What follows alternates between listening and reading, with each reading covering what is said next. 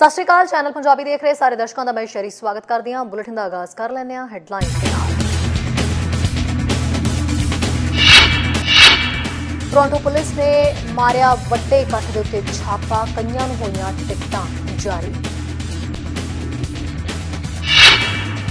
America ਦੇ ਵੱਲੋਂ ਭਾਰਤ ਦੇ ਵਿੱਚ ਮਦਦ ਕਰਨ ਦੀ ਤੋੜੀ ਗਈ ਚੁੱਪੀ ਯੂਐਸ ਤੋਂ 318 ਕੰਸਟ੍ਰੇਟਰ ਪਹੁੰਚੇ ਦਿੱਲੀ 에ਅਰਪੋਰਟ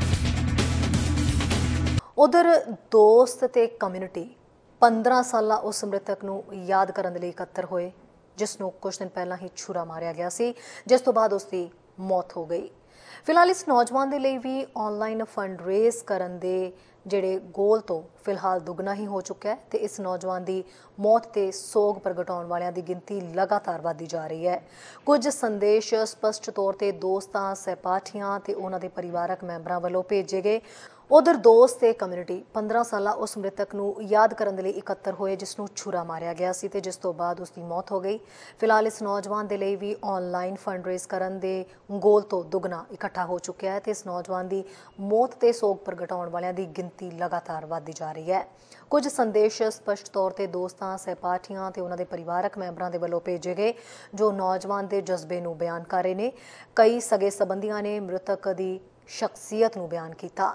ਨੌਜਵਾਨ ਦੇ ਪਰਿਵਾਰ ਦੇ ਲਈ ਹੁਣ ਤੱਕ 14000 ਤੋਂ ਵੱਧ ਡਾਲਰ ਇਕੱਠੇ ਹੋ ਚੁੱਕੇ ਨੇ। ਦੱਸਦੇ ਕਿ BC ਦੇ ਹਸਪਤਾਲ ਦੇ ਵਿੱਚ ਐਮਰਜੈਂਸੀ ਸਰਜਰੀ ਤੋਂ ਬਾਅਦ ਐਤਵਾਰ ਨੂੰ ਇਸ ਨੌਜਵਾਨ ਦੀ ਮੌਤ ਹੋਈ ਸੀ। ਵੈਨਕੂਵਰ ਆਲਮੰਡ ਪਾਰਕ ਦੇ ਵਿੱਚ ਸ਼ਨੀਵਾਰ ਨੂੰ ਦੋ ਗਰੁੱਪਾਂ ਦੇ ਵਿਚਾਲੇ ਝੜਪ ਹੋਈ ਸੀ। ਉਸ ਦੌਰਾਨ ਹੀ ਇਸ ਨੌਜਵਾਨ ਦੇ ਚਾਕੂ ਮਾਰਿਆ ਗਿਆ ਸੀ।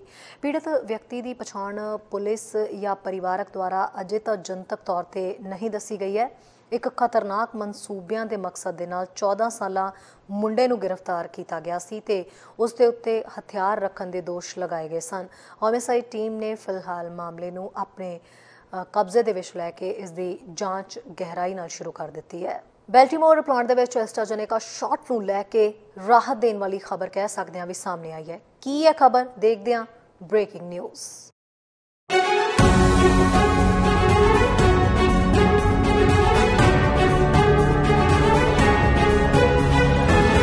ਵੇਲੇ ਦੀ ਵੱਡੀ ਬ੍ਰੇਕਿੰਗ ਨਿਊਜ਼ ਦੱਸਦੀ ਹੈ ਐਸਟਰਾਜੇਨੇਕਾ ਦੇ ਬਾਲਟਿਮੋਰ ਪਲਾਂਟ ਦੇ 1.5 ਮਿਲੀਅਨ ਕੋਵਿਡ-19 ਸ਼ਾਟ ਜਿਹੜੇ ਨੇ, ਉਹ ਸੁਰੱਖਿਅਤ ਦੱਸੇ ਗਏ ਨੇ। ਜੀ ਹਾਂ ਹੈਲਥ ਕੈਨੇਡਾ ਨੇ ਇਸ ਗੱਲ ਦੀ ਪੁਸ਼ਟੀ ਕੀਤੀ ਹੈ। ਹੈਲਥ ਕੈਨੇਡਾ ਦਾ ਇਹ ਕਹਿਣਾ ਹੈ ਕਿ ਬਾਲਟਿਮੋਰ ਪਲਾਂਟ ਦੇ ਵਿੱਚ ਤਿਆਰ ਕੀਤੇ ਜਾਣ ਵਾਲੇ ਐਸਟਰਾਜੇਨੇਕਾ ਕੋਵਿਡ-19 ਟੀਕੇ, ਜਿਸ ਨੂੰ ਇਸ ਮਹੀਨੇ ਦੇ ਸ਼ੁਰੂ ਦੇ ਵਿੱਚ US food and drug administration ਯਾਨੀ FDA ਦੇ ਵੱਲੋਂ ਜਾਂਚ ਦੇ ਅਧੀਨ ਰੱਖਿਆ ਗਿਆ ਸੀ, ਇਹ ਸਭ ਸੁਰੱਖਿਅਤ ਤੇ ਉੱਚ ਗੁਣਵੱਤਾ ਵਾਲੇ ਨੇ। ਇਸ ਬਿਆਨ ਦੇ ਵਿੱਚ ਦੇਸ਼ ਦੀ ਸਿਹਤ ਏਜੰਸੀ ਨੇ ਕਿਹਾ ਕਿ ਐਮਰਜੈਂਸੀ ਬਾਇਓ ਸੋਲੂਸ਼ਨ ਬਾਲਟਿਮੋਰ ਸਹੂਲਤ ਤੋਂ ਕੈਨੇਡਾ ਨੂੰ ਆਯਾਤ ਕੀਤੀ ਗਈ। ਐਸਟਰਾਜੇਨੇਕਾ ਟੀਕੇ ਦੀਆਂ 1.5 ਮਿਲੀਅਨ ਖੁਰਾਕਾਂ ਕੁਆਲਿਟੀ ਦੀਆਂ ਸਾਰੀਆਂ ਵਿਸ਼ੇਸ਼ਤਾਵਾਂ ਨੂੰ ਪੂਰਾ ਕਰਦੀਆਂ ਨੇ ਤੇ ਵਰਤਣ ਦੇ ਲਈ ਸੁਰੱਖਿਅਤ ਹੈ। ਇਹ ਬਿਆਨ ਉਸ ਸਮੇਂ ਆਇਆ ਜਦੋਂ ਐਸਟਰਾਜੇਨੇਕਾ ਦੇ ਜੌਨਸਨ ਐਂਡ ਜੌਨਸਨ ਦੇ ਟੀਕੇ ਨੂੰ ਇਸ ਮਹੀਨੇ ਦੇ ਸ਼ੁਰੂ ਦੇ ਵਿੱਚ FDA ਨੇ ਰੋਕ ਦਿੱਤਾ ਸੀ। ਤਾਂ ਕਿ ਉਸ ਗਲਤੀ ਦੀ ਜਾਂਚ ਕੀਤੀ ਜਾ ਸਕੇ, ਜਿਸ ਦੇ ਨਾਲ ਮਾਰਚ ਦੇ ਵਿੱਚ ਜੌਨਸਨ ਐਂਡ ਜੌਨਸਨ ਟੀਕੇ ਦੀਆਂ ਲੱਖਾਂ ਖੁਰਾਕਾਂ ਬਰਬਾਦ ਹੋ ਗਈਆਂ ਸਨ। ਸੋ ਨਾਲ ਹੀ ਹੈਲਥ ਕੈਨੇਡਾ ਨੇ ਇਹ ਸੁਨਿਸ਼ਚਿਤ ਕਰਨ ਦੇ ਲਈ ਸਾਰੇ ਲੋੜੀਂਦੇ ਕਦਮ ਚੁੱਕੇ ਨੇ ਕਿ ਇਸ ਸਹੂਲਤ ਤੋਂ ਆਉਣ ਵਾਲੇ ਕਿਸੇ ਵੀ ਉਤਪਾਦ ਦੀ ਵਰਤੋਂ ਸਿਰਫ ਤਾਂ ਹੀ ਕੀਤੀ ਜਾਵੇ ਜੇ ਉਹ ਸੁਰੱਖਿਅਤ ਤੇ ਪ੍ਰਭਾਵਸ਼ਾਲੀ ਹੋਣ। ਔਰ ਕੈਨੇਡੀਅਨਸ ਨੂੰ ਇਸ ਗੱਲ ਦਾ ਭਰੋਸਾ ਵੀ ਹੋ ਸਕੇ। ਹੈਲਥ ਕੈਨੇਡਾ ਨੇ ਇਸ ਗੱਲ ਦੀ ਪੁਸ਼ਟੀ ਕੀਤੀ ਹੈ ਕਿ ਜੌਨਸਨ ਐਂਡ ਜੌਨਸਨ ਟੀਕੇ ਦੀਆਂ 3 ਲੱਖ ਖੁਰਾਕ 3 ਲੱਖ ਖੁਰਾਕਾਂ ਜਿਨ੍ਹਾਂ ਦੀ ਅਗਲੇ ਹਫ਼ਤੇ ਕੈਨੇਡਾ ਦੇ ਵਿੱਚ ਆਉਣ ਦੀ ਉਮੀਦ ਹੈ ਬਾਲਟਿਮੋਰ ਸਹੂਲਤ ਤੋਂ, ਯਾਨੀ ਬਾਲਟਿਮੋਰ ਫੈਸਿਲਿਟੀ ਤੋਂ ਉਹ ਨਹੀਂ ਆਉਂਦੀ। ਸੋ ਇਹ ਹੈ ਇਸ ਵੇਲੇ ਦੀ ਵੱਡੀ ਖਬਰ।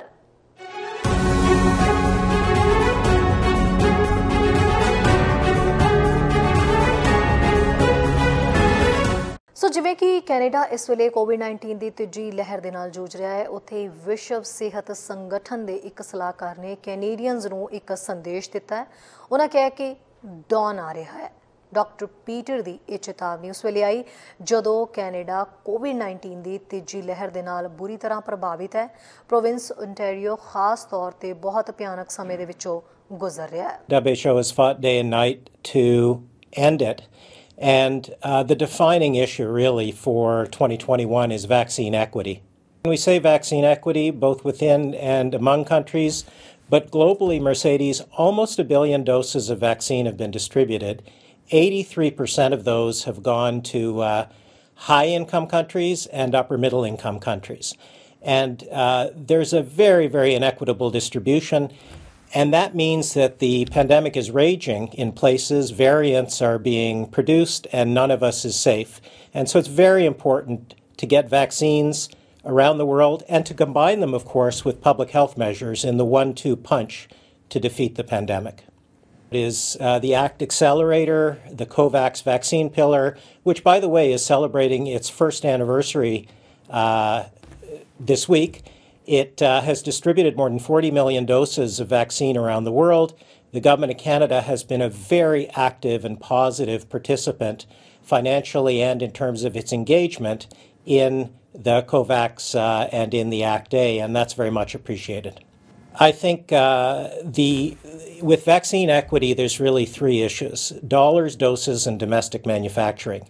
In terms of dollars, Canada has been a very good contributor. There's still a 19 billion dollar shortfall in Act A, and that's compared to trillions of dollars of uh, stimulus spending around the world. So that's a great buy. In terms of doses, it's very important actually for countries that have doses to share them. Uh, France recently announced that it would start sharing doses because it doesn't matter if you have money if you don't have vaccine doses to distribute. And then finally, vaccine manufacturing domestically, at least at the regional level, which is an issue for Canada and for every country around the world. For example, in the budget, there was money for domestic biomanufacturing in Canada, and that's an issue for every country. ਸੋ ਜਿੱਥੇ ਇੱਕ ਪਾਸੇ ਇਸ Covid ਵਰਗੀ ਖਤਰਨਾਕ ਬਿਮਾਰੀ ਨੂੰ ਰੋਕਣ ਦੇ ਲਈ ਕੋਸ਼ਿਸ਼ਾਂ ਕੀਤੀਆਂ ਜਾ ਰਹੀਆਂ ਨੇ, ਉੱਥੇ ਕਈ ਲੋਕ ਅਜਿਹੇ ਨੇ ਜੋ ਇਸ ਨੂੰ ਲੈ ਕੇ ਜੋ ਕੋਸ਼ਿਸ਼ਾਂ ਕੀਤੀਆਂ ਜਾ ਰਹੀਆਂ ਨੇ, ਜੋ ਨਿਯਮ ਹੈ, ਉਹਨਾਂ ਦੀਆਂ ਧੱਜੀਆਂ ਉਡਾਉਂਦੇ ਵੀ ਫੜੇ ਜਾ ਰਹੇ ਨੇ। ਟੋਰਾਂਟੋ ਦੇ ਵਿੱਚ ਚੱਲ ਰਹੀ ਇੱਕ ਪਾਰਟੀ ਦੇ ਉੱਤੇ ਪੁਲਿਸ ਦੇ ਵੱਲੋਂ ਛਾਪਾ ਮਾਰੇ ਜਾਣ ਤੋਂ ਬਾਅਦ ਕਈ ਲੋਕਾਂ ਨੂੰ ਟਿਕਟਾਂ ਜਾਰੀ ਕੀਤੀਆਂ ਗਈਆਂ। ਪੁਲਿਸ ਦਾ ਕਹਿਣਾ ਹੈ ਕਿ ਉਹਨਾਂ ਨੂੰ ਸੂ ਮਿਲੀ ਸੀ ਕਿ 30 ਦੇ ਨਜ਼ਦੀਕ ਲੋਕ ਜਿਹੜੇ ਨੇ ਉਹ ਰਾਤੀ 12:20 ਮਿੰਟ ਦੇ ਉੱਤੇ ਇਕੱਠੇ ਹੋ ਰਹੇ ਸਨ, ਪਰ ਇਹਨਾਂ ਲੋਕਾਂ ਦੇ ਇਕੱਠੇ ਹੋਣ ਦੇ ਟਿਕਾਣੇ ਬਾਰੇ ਕੋਈ ਜਾਣਕਾਰੀ ਨਹੀਂ ਸੀ, ਦਿੱਤੀ ਗਈ। ਜਾਂਚਕਾਰਾਂ ਨੇ ਦੱਸਿਆ ਹੈ ਕਿ ਪੁਲਿਸ ਨੇ ਮੌਕੇ ਤੇ ਉੱਥੇ ਪਹੁੰਚ ਕੇ ਪਾਰਟੀ ਰੁਕਵਾ ਦਿੱਤੀ ਸੀ, ਪਰ ਲੋਕ ਮੁੜ ਆ ਗਏ ਤੇ ਪੁਲਿਸ ਨੂੰ ਮੌਕੇ ਤੇ ਪਰਤਣਾ ਪਿਆ। ਕੁਇਨ ਸਟਰੀਟ ਤੇ ਗਲੈਡਸਟੋਨ ਐਵੇਨਿਊ ਦੇ ਨੇੜੇ ਰਹਿਣ ਵਾਲੇ ਇੱਕ ਵਿਅਕਤੀ ਨੇ ਦੱਸਿਆ ਹੈ ਕਿ ਜਦੋਂ ਪੁਲਿਸ ਇਲਾਕੇ ਦੇ ਵਿੱਚ ਪਹੁੰਚੀ ਤਾਂ ਉਹਨਾਂ ਨੇ ਦਰਜਨਾਂ ਲੋਕਾਂ ਨੂੰ ਸੜਕ ਦੇ ਉੱਤੇ ਭੱਜਦਿਆਂ ਵੇਖਿਆ। ਸਟੂਅਰਟ ਨਾਂ ਦੇ ਇੱਕ ਇਸ ਵਿਅਕਤੀ ਨੇ ਦੱਸਿਆ ਹੈ ਕਿ ਇੰਜ ਲੱਗ ਰਿਹਾ ਸੀ ਜਿਵੇਂ ਉਹ ਸਾਰੇ ਪਾਰਟੀ ਤੋਂ ਪਰਤ ਰਹੇ ਹੋਣ, ਸਾਰੇ ਹੀ ਤਿਆਰ ਹੋਏ ਪਏ ਸਨ। ਉਸਨੇ ਦੱਸਿਆ ਕਿ ਬਾਅਦ ਦੇ ਵਿੱਚ 2 ਵਜੇ ਦੇ ਨੇੜੇ ਤੇੜੇ ਜਦੋਂ ਉਹ ਆਪਣੇ ਕੁੱਤੇ ਨੂੰ ਘੁਮਾਉਣ ਦੇ ਲਈ ਲੈ ਕੇ ਗਿਆ ਤਾਂ ਕੁਇਨ ਸਟਰੀਟ ਦੇ ਉੱਤੇ ਪੁਲਿਸ ਦੀਆਂ 4 ਜਾਂ 5 ਗੱਡੀਆਂ ਖੜੀਆਂ ਹੋਈਆਂ ਸਨ। ਸਟੂਅਰਟ ਨੇ ਆਖਿਆ ਹੈ ਕਿ ਬਹੁਤ ਸਾਰੇ ਲੋਕਾਂ ਨੇ ਪੁਲਿਸ ਨੂੰ ਨਿਮਰਤਾ ਨਾਲ ਜਵਾਬ ਦਿੱਤਾ ਤੇ ਇਲਾਕਾ ਛੱਡਣ ਲਈ ਆਖੇ ਜਾਣ ਤੋਂ ਬਾਅਦ ਉਹ ਉੱਥੋਂ ਚਲੇ ਵੀ ਗਏ। ਇੱਕ ਹੋਰ ਗਵਾਂਢੀ ਨੇ ਦੱਸਿਆ ਹੈ ਕਿ ਉਹਨਾਂ ਨੇ 40 ਤੋਂ 50 ਲੋਕ ਜਿਹੜੇ ਨੇ ਉਹ ਸੜਕਾਂ ਤੇ ਦੇਖੇ ਨੇ। ਉਹਨਾਂ ਦੱਸਿਆ ਕਿ ਪੁਲਿਸ ਅਧਿਕਾਰੀ ਜਿਹੜੇ ਨੇ ਉਹ ਫਲੈਸ਼ ਲਾਈਟਸ ਲੈ ਕੇ ਲੋਕਾਂ ਦੇ ਪਿੱਛੇ ਦੌੜ ਰਹੇ ਸੀ। ਫਿਲਹਾਲ ਸਮਾਂ ਹੋ ਚਲੇ ਥੇ ਇੱਕ ਛੋੜੇ ਜਿਹੇ ਬ੍ਰੇਕ ਦੇ ਲਈ ਰੁਕਣ ਦਾ। ਜਲਦ ਹਾਜ਼ਰ ਹੋਵਾਂਗੇ ਕੁਝ ਹੋਰ ਖਬਰਾਂ ਦੇ ਨਾਲ ਔਰ ਬ੍ਰੇਕ ਤੋਂ ਬਾਅਦ ਦੇਖਾਂਗੇ ਕਿ ਯੂਐਸਏ ਨੇ ਭਾਰਤ ਦੀ ਮਦਦ ਜਿਹੜੀ ਹੈ ਉਹ ਕਿਵੇਂ ਕੀਤੀ ਹੈ। ਸਵਾਗਤ ਹੈ ਬ੍ਰੇਕ ਤੋਂ ਬਾਅਦ ਸਾਰੇ ਦਰਸ਼ਕਾਂ ਦਾ। ਇਸ ਵੇਲੇ ਭਾਰਤ ਨੂੰ ਮਦਦ ਦੀ ਲੋੜ ਹੈ।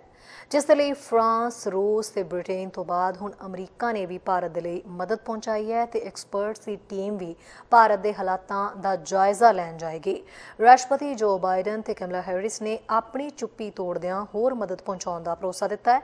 ਬੰਦਾ ਹੋਰ ਸਾਜੋ ਸਮਾਨ ਵੀ ਉਹਨਾਂ ਕਿਹਾ ਭੇਜਿਆ ਜਾਏਗਾ। ਫਰਾਂਸ, ਰੂਸ ਤੇ ਬ੍ਰਿਟੇਨ ਤੋਂ ਬਾਅਦ ਅਮਰੀਕਾ ਨੇ ਵੀ ਮੁਸੀਬਤ ਦੀ ਘੜੀ ਦੇ ਵਿੱਚ ਭਾਰਤ ਦੇ ਵੱਲ ਮਦਦ ਦਾ ਹੱਥ ਵਧਾਇਆ ਹੈ। ਇਸੇ ਦੇ ਮੱਦੇਨਜ਼ਰ ਸੋਮਵਾਰ ਨੂੰ ਅਮਰੀਕਾ ਤੋਂ 318 ਆਕਸੀਜਨ ਕੰਸਟਰੇਟਰ ਦਿੱਲੀ 에ਅਰਪੋਰਟ ਪਹੁੰਚੇ। ਇਸ ਤੋਂ ਪਹਿਲਾਂ ਭਾਰਤੀ ਸਮੇਂ ਦੇ ਮੁਤਾਬਕ ਐਤਵਾਰ ਦੇ ਰਾਤ ਰਾਸ਼ਟਰਪਤੀ ਜੋ ਬਾਈਡਨ ਵੀ ਇਸ ਗੱਲ ਦਾ ਭਰੋਸਾ ਦੇ ਚੁੱਕੇ ਸੀ। ਇਸ ਲਈ ਰਾਸ਼ਟਰਪਤੀ ਜੋ ਬਾਈਡਨ ਨੇ ਕਿਹਾ ਹੈ ਕਿ ਮਹਾਮਾਰੀ ਦੀ ਸ਼ੁਰੂਆਤ ਦੇ ਵਿੱਚ ਭਾਰਤ ਨੇ ਸਾਡੇ ਹਸਪਤਾਲਾਂ ਦੇ ਵਿੱਚ ਸਹਾਇਤਾ ਭੇਜੀ ਸੀ। ਹੁਣ ਜਦੋਂ ਭਾਰਤ ਨੂੰ ਲੋੜ ਹੈ, ਤਾਂ ਅਸੀਂ ਵੀ ਮਦਦ ਲਈ ਤਿਆਰ ਹਾਂ। ਉਪ ਰਾਸ਼ਟਰਪਤੀ ਕਮਲਾ ਹੈਰਿਸ ਨੇ ਕਿਹਾ ਕਿ ਅਸੀਂ ਭਾਰਤ ਸਰਕਾਰ ਦੇ ਨਾਲ ਮਿਲ ਕੇ ਕੰਮ ਕਰ ਰਹੇ ਹਾਂ, ਜਦੋਂ ਕਿ ਕਰੋਨਾ ਦੀ ਇਸ ਲਹਿਰ ਦੇ ਦੌਰਾਨ ਜਲਦੀ ਤੋਂ ਜਲਦੀ ਮਦਦ ਤੇ ਸਾਜੋ ਸਮਾਨ ਭੇਜਿਆ ਜਾ ਸਕੇ। ਇਸ ਤੋਂ ਪਹਿਲਾਂ ਯੂਐਸ ਨੇ ਵੈਕਸੀਨ ਦੇ ਕੱਚੇ ਮਾਲ ਤੇ ਰੋਕ ਲਗਾਉਂਦੇ ਹੋਏ ਭਾਰਤ ਨੂੰ ਤੁਰੰਤ ਰॉ ਮਟੀਰੀਅਲ ਸਪਲਾਈ ਕਰਨ ਦਾ ਫੈਸਲਾ ਲਿਆ ਹੈ। ਬਾਈਡਨ ਨੇ ਕਿਹਾ ਸੀ ਕਿ ਜੇਕਰ ਅਸੀਂ ਕਰੋਨਾ ਦੇ ਖਿਲਾਫ ਵਾਕਈ ਹੀ ਗੰਭੀਰ ਹਾਂ, ਤਾਂ ਕੱਚੇ ਮਾਲ ਦੇ ਨਿਰਯਾਤ ਤੇ ਲੱਗੀ ਰੋਕ ਨੂੰ ਹਟਾ ਦੇਵੇ। ਦੱਸਦੇ ਕਿ ਇਸ ਤੋਂ ਪਹਿਲਾਂ ਭਾਰਤ ਦੇ ਵਿੱਚ ਵਿਗੜਦੇ ਹਾਲਾਤਾਂ ਤੇ ਅਮਰੀਕਾ ਦੀ ਚੁੱਪੀ ਤੇ ਸਵਾਲ ਉੱਠ ਰਹੇ ਸੀ। ਅਮਰੀਕਾ ਨੇ ਕਿਹਾ ਸੀ ਕਿ ਤੁਰੰਤ ਆਕਸੀਜਨ ਤੇ ਉਸ ਦੇ ਨਾਲ ਜੁੜੀ ਸਪਲਾਈ ਦੇਣ ਦਾ ਵਿਕਲਪ ਅਸੀਂ ਲੱਭ ਰਹੇ ਹਾਂ। ਅਮਰੀਕਾ ਦਾ development finance corporation biological E company ਨੂੰ ਵਧਾਉਣ ਦੇ ਲਈ ਫੰਡਿੰਗ ਦੇਵੇਗਾ ਤਾਂ ਕਿ ਕੰਪਨੀ 2022 ਦੇ ਅਖੀਰ ਤੱਕ ਭਾਰਤ ਦੇ ਵਿੱਚ ਕੋਵਿਡ-19 ਦੀ 10 ਕਰੋੜ ਵੈਕਸੀਨ ਬਣਾ ਸਕੇ। ਨਿਊਜ਼ ਡੈਸਕ ਤੋਂ ਚੈਨਲ ਪੰਜਾਬੀ ਦੀ ਰਿਪੋਰਟ। ਓਨਟਾਰੀਓ ਦੇ ਵਿੱਚ ਹੁਣ ਕੋਵਿਡ-19 ਦੀ ਵੈਕਸੀਨ ਗਰਭਵਤੀ ਔਰਤਾਂ ਨੂੰ ਵੀ ਪਹਿਲ ਦੇ ਆਧਾਰ ਦੇ ਉੱਤੇ ਮਿਲੇਗੀ। ਪ੍ਰੋਵਿੰਸ ਨੇ ਗਰਭਵਤੀ ਔਰਤਾਂ ਨੂੰ ਹਾਈਐਸਟ ਰਿਸਕ ਕੈਟਾਗਰੀ ਦੇ ਵਿੱਚ ਰੱਖਦਿਆਂ ਹੋਇਆ ਕੋਵਿਡ-19 ਵੈਕਸੀਨ ਲਈ ਯੋਗ ਕਰਾਰ ਦਿੱਤਾ ਹੈ। ਪ੍ਰੋਵਿੰਸ ਦੇ ਵੱਲੋਂ ਇਹ ਤਬਦੀਲੀ ਉਸ ਨਵੇਂ ਡਾਟਾ ਨੂੰ ਧਿਆਨ ਦੇ ਵਿੱਚ ਰੱਖਦਿਆਂ ਹੋਇਆ ਕੀਤੀ ਗਈ ਹੈ, ਜਿਸ ਦੇ ਵਿੱਚ ਇਹ ਆਖਿਆ ਗਿਆ ਹੈ ਕਿ ਗਰਭਵਤੀ ਮਹਿਲਾਵਾਂ ਨੂੰ ਵੀ ਕੋਵਿਡ-19 ਹੋਣ ਦਾ ਖਤਰਾ ਕਾਫੀ ਜ਼ਿਆਦਾ ਹੈ। ਪ੍ਰੋਵਿੰਸ ਦੇ ਵੈਕਸੀਨ ਰੋਲ ਆਊਟ ਪਲਾਨ ਦੇ ਦੂਜੇ ਪੜਾਅ ਦੇ ਵਿੱਚ ਗਰਭਵਤੀ ਮਹਿਲਾਵਾਂ ਨੂੰ ਹਾਈਐਸਟ ਰਿਸਕ ਵਨਗੀ ਦੇ ਵਿੱਚ ਰੱਖਿਆ ਗਿਆ ਹੈ। ਇਸ ਸਮੇਂ ਓਨਟਾਰੀਓ ਦੇ ਵਿੱਚ ਸਿਹਤ ਯੂਨਿਟਸ ਦੇ ਵੱਲੋਂ ਹਾਈਐਸਟ ਰਿਸਕ ਤੇ ਹਾਈ ਰਿਸਕ ਵਨਗੀਆਂ ਦੇ ਵਿੱਚ ਟੀਕਾਕਰਨ ਕੀਤਾ ਜਾ ਰਿਹਾ ਹੈ। ਗਰਭਵਤੀ ਮਹਿਲਾਵਾਂ ਪ੍ਰੋਵਿੰਸ਼ੀਅਲ ਕਾਲ ਸੈਂਟਰ ਯਾਨੀ ਇਸ ਨੰਬਰ ਦੇ ਉੱਤੇ ਕਾਲ ਕਰਕੇ ਆਪਣੀ ਜਾਣਕਾਰੀ ਹਾਸਲ ਕਰ ਸਕਦੀਆਂ ਨੇ। ਨੰਬਰ ਹੈ 1888 999 6488 ਇਸ ਤੇ ਕਾਲ ਕਰਕੇ ਅਪਾਇੰਟਮੈਂਟਸ ਜਿਹੜੀ ਹੈ ਉਹ ਬੁੱਕ ਕਰਵਾ ਕੇ ਇਮਿਊਨਾਈਜੇਸ਼ਨ ਕਲੀਨਿਕਸ ਤੋਂ ਇਹ ਵੈਕਸੀਨ ਲਗਵਾ ਸਕਦੀਆਂ ਨੇ।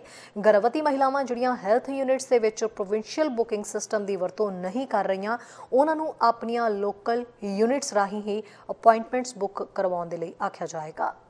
ਐਨਡੀਪੀ ਆਗੂ ਜਗਮੇਸ਼ ਸਿੰਘ ਨੇ ਲੋਰਟੀਅਨ ਯੂਨੀਵਰਸਿਟੀ ਨੂੰ ਬਚਾਉਣ ਦੇ ਲਈ ਸਰਕਾਰੀ ਕਾਰਵਾਈ ਦੀ ਮੰਗ ਕਰਨ ਵਾਲੀ ਇੱਕ ਵਰਚੁਅਲ ਮੀਟਿੰਗ ਨੂੰ ਸੰਬੋਧਨ ਕੀਤਾ। ਦਰਅਸਲ ਸੋਬਡਰੀ ਓਨਟਾਰੀਓ ਸੰਸਥਾ 58 ਅੰਡਰ ਗ੍ਰੈਜੂਏਟ ਤੇ 11 ਗ੍ਰੈਜੂਏਟ ਪ੍ਰੋਗਰਾਮਾਂ ਦੇ ਨਾਲ-ਨਾਲ 110 ਅਸਾਮੀਆਂ ਨੂੰ ਖਤਮ ਕਰ ਰਹੀ ਹੈ ਜਿਸ ਸਬੰਧ ਦੇ ਵਿੱਚ ਟਾਊਨ ਹਾਲ ਦੇ ਅੰਦਰ ਇਹ ਵਰਚੁਅਲ ਮੀਟਿੰਗ ਰੱਖੀ ਗਈ। ਆਓ ਦੇਖਦੇ ਹਾਂ ਕੀ ਕੁਝ ਕਿਹਾ ਇਸ ਮੌਕੇ ਜਗਮੀਤ ਸਿੰਘ ਨੇ।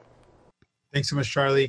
And and France mentioned this as well. I mean, it's so clear what what Laurentian University means is something really unique and really special. The combination of having a space, an institution dedicated to higher learning, specifically one of the best programs around Indigenous um, learning, and and one that was founded with uh, the input of traditional knowledge keepers and elders the the quality of that experience and the indigenization of the institution. We could see it as a really special place combining that as well as being a space for francophonie uh, and a space for the north created something really special and really unique and really also highlights why the federal government has to play a role here. We can't just let the federal government sit by idly when an institution that directly would impact the improved quality of life for indigenous people directly is access for francophone communities c'est essentiel. Ça ça souligne l'importance pour uh, le gouvernement fédéral d'agir de maintenant pour sauver les programmes. So it's so important and why i take a really serious take my role really seriously that we've got to protect this institution for what it brings and what the special thing they were building around creating that that that tri community element, uh, that tri culture. It is very special and something we've got to defend. Thanks. Um, Ginny McFarland is written. I don't know if people had a chance to read her um, uh, statement, but it's. I think it, it speaks to so much of our experience in the north. I know so many people who have no opportunity to go down south it's possible to go to Laurentian, but to go further south is, is very difficult. And Ginny McFarland writes that she's worried about the cuts to arts, mathematics, physics, the ability to have a proper master's program is actually about de-skilling the North. That where we had an institution that, you know, again, working class people could get skills, highly trained, uh, and then work in the field of the North, that we're now going to have to be relying on people with graduate degrees from elsewhere because of this happening. Franz, I was wondering if you had any thoughts on that, given the the how many people come into Sudbury from across the north to get educated. ਫਿਲਹਾਲ bulletin ਦੇ ਅਖੀਰ ਦੇ ਵਿੱਚ ਦੇਖਦੇ ਹਾਂ Edmonton ਤੋਂ ਸਾਡੇ senior ਪੱਤਰਕਾਰ ਕੁਲਮੀਤ ਸਿੰਘ ਸੰਘਾ ਦੀ ਇਹ ਖਾਸ ਅਪਡੇਟ ਚੈਨਲ ਪੰਜਾਬੀ ਵੇਖ ਰਹੇ ਸਮੂਹ ਦਰਸ਼ਕਾਂ ਨੂੰ ਕੁਲਮੀਤ ਸਿੰਘ ਵੱਲੋਂ ਨਿੱਗੀ ਜੀ ਆ ਵਾਹਿਗੁਰੂ ਜੀ ਕਾ ਖਾਲਸਾ ਵਾਹਿਗੁਰੂ ਜੀ ਕੀ ਫਤਿਹ ਐਡਮਿੰਟਨ ਸ਼ਹਿਰ ਤੋਂ ਕੁਝ ਖਬਰਾਂ ਲੈ ਕੇ ਤੁਹਾਡੇ ਲਈ ਹਾਜ਼ਰ ਹਾਂ ਜੀ ਇੱਕ ਖਬਰ ਤੇ ਸਾਡੇ ਸੂਬੇ ਤੋਂ ਇਹ ਆ ਰਹੀ ਆ ਕਿ ਦਸੰਬਰ 15 2020 ਤੋਂ ਬਾਅਦ ਇਹ ਪਹਿਲੀ ਵਾਰੀ ਹੋਇਆ ਕਿ ਸੂਬੇ ਦੇ ਵਿੱਚ 20000 ਤੋਂ ਜ਼ਿਆਦਾ ਜਿਹੜੇ ਐਕਟਿਵ ਕੇਸਿਸ ਹੈਗੇ ਆ ਜੀ, ਉਹ ਕੋਵਿਡ-19 ਦੇ ਹੋਏ ਨੇ। ਜੀ ਹਾਂ 20136 ਐਕਟਿਵ ਕੇਸਿਸ ਨੇ ਔਰ ਜਿਹਦੇ ਵਿੱਚੋਂ 932 ਵੇਰੀਐਂਟ ਦੇ ਕੇਸਿਸ ਆ, ਯਾਨੀ ਕਿ 61% ਵੇਰੀਐਂਟ ਦੇ ਕੇਸਿਸ ਹੋ ਗਏ ਨੇ। 1437 ਨਵੇਂ ਕੇਸ ਆਏ ਜੀ ਐਤਵਾਰ ਵਾਲੇ ਦਿਨ ਤੇ ਤਿੰਨ ਹੋਰ ਮੌਤਾਂ ਜਿਹੜੀਆਂ ਉਹ ਹੋ ਗਈਆਂ ਨੇ। ਇਹ ਜਿਹੜੇ ਨੰਬਰ ਆ, ਇਹਨਾਂ ਨੂੰ ਦੇਖਦਿਆਂ ਹੋਇਆਂ ਫਿਰ ਚਿੰਤਾ ਵਾਲੀ ਘੰਟੀ ਜਿਹੜੀ ਹੈ ਜੀ ਸੂਬੇ ਦੇ ਵਿੱਚ ਖੜਕ ਰਹੀ ਆ। ਐਤਵਾਰ ਵਾਲੇ ਦਿਨ 594 ਵਿਅਕਤੀ ਹਸਪਤਾਲ ਵਿੱਚ ਸੀਗੇ ਇਸ ਬਿਮਾਰੀ ਦੇ ਨਾਲ, ਜੇਰੇ ਇਲਾਜ, ਔਰ ਇਹ 10 ਬੰਦੇ ਸ਼ਨੀਚਰਵਾਰ ਨਾਲੋਂ ਜ਼ਿਆਦਾ ਸੀਗੇ। ਔਰ 140 ਵਿਅਕਤੀ ਜਿਹੜੇ ਆ ਉਹ ਇੰਟੈਂਸਿਵ ਕੇਅਰ ਯੂਨਿਟਸ ਦੇ ਵਿੱਚ ਨੇ ਔਰ ਉਹਦੇ ਵਿੱਚ ਵੀ 11 ਵਿਅਕਤੀਆਂ ਦੀ ਗਿਣਤੀ ਹੋਰ ਵੱਧ ਗਈ। ਤੇ ਤਿੰਨ ਜਿਹੜੀਆਂ ਮੌਤਾਂ ਹੋਈਆਂ ਨੇ ਜੀ, ਉਹ ਕੈਲਗਰੀ ਤੇ ਐਡਮਿੰਟਨ ਜ਼ੋਨਸ ਦੇ ਵਿੱਚ ਹੋਈਆਂ ਨੇ। ਐਤਵਾਰ ਵਾਲੇ ਦਿਨ ਅਲਬਰਟਾ ਵੱਲੋਂ ਰਿਪੋਰਟ ਕੀਤੀਆਂ ਗਈਆਂ ਜਿਹੜੀਆਂ ਵੈਕਸੀਨ ਦੀਆਂ ਡੋਜ਼ਸ ਨੇ, ਉਹ ਕੋਈ 13,98,673 ਜਿਹੜੀਆਂ ਮਤਲਬ ਟੀਕੇ ਲੋਕਾਂ ਦੇ ਲਾਏ ਜਾ ਚੁੱਕੇ ਨੇ ਔਰ 37308 ਜਿਹੜੀਆਂ ਡੋਜ਼ਸ ਆ ਜੀ ਉਹ ਮਤਲਬ ਸ਼ਨੀਚਰਵਾਰ ਵਾਲੇ ਦਿਨ ਜ਼ਿਆਦਾ ਦਿੱਤੀਆਂ ਗਈਆਂ ਨੇ ਪਹਿਲਿਆਂ ਨਾਲੋਂ ਯਾਨੀ 24 ਘੰਟਿਆਂ ਦੇ ਅੰਦਰ ਜਿਹੜੀ ਗਿਣਤੀ ਆਉਂਦੀ ਜੀ ਉਹਦੇ 'ਚ। ਸੋ ਇਹ ਤਾਂ ਹੈਗਾ ਕੋਵਿਡ 19 ਬਾਰੇ ਖਬਰ। ਇੱਕ ਘਟਨਾ ਵਾਪਰੀ ਸੀਗੀ ਰੌਸਲਨ ਹਾਈ ਸਕੂਲ ਆ ਨਾਰਥ ਸਾਈਡ ਦੇ ਵਿੱਚ ਐਡਮਿੰਟਨ ਦੇ। ਉੱਥੇ ਇੱਕ ਕਾਲੇ ਰੰਗ ਦੇ ਸਟੂਡੈਂਟ ਨੂੰ ਕੁਝ ਹੋਰ ਸਟੂਡੈਂਟਸ ਨੇ ਘੇਰਾ ਪਾ ਲਿਆ, ਜਦੋਂ ਕਿ ਉਹ ਬੱਸ ਫੜਨ ਲਈ ਜਾ ਰਿਹਾ ਸੀਗਾ।